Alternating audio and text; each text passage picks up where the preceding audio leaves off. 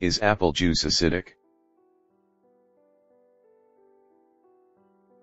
Citrus drinks and other drinks such as pineapple juice and apple juice are very acidic and may cause acid reflux.